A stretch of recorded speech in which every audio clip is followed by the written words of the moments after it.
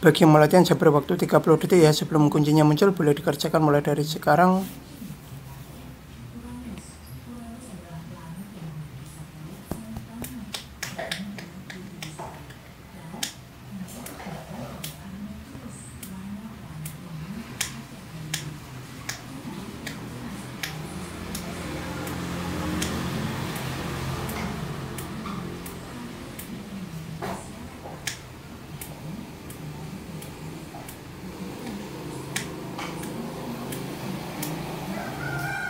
kuncinya B ya soal ini saya ambil dari webnya pemerintah platform Merdeka Belajar guru.kemdikbud.go.id kurang lebih demikian. Semoga bermanfaat.